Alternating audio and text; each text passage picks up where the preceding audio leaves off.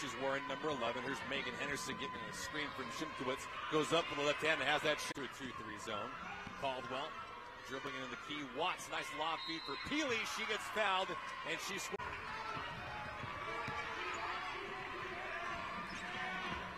Right side pass. Watts into the corner. Three pointer on the way. That one's good. Nice shot. Here comes Mariya.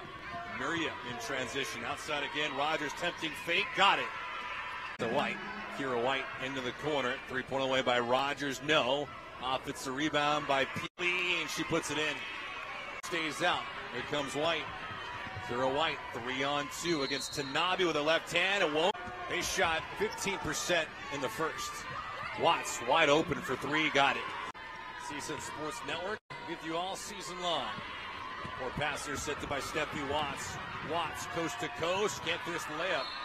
Easiest shot of the night for her, and she can't convert on it. And then Caldwell inbounded to Angel Jackson. Always helps when you're inbounding to someone six foot five.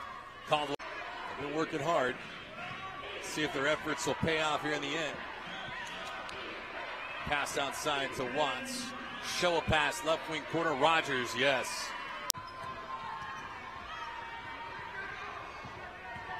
Plenty of body contact.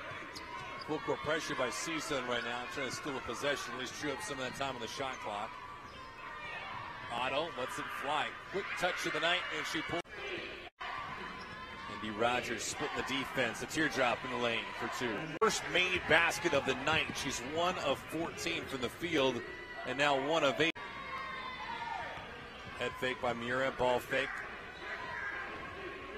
Underneath, Jackson plus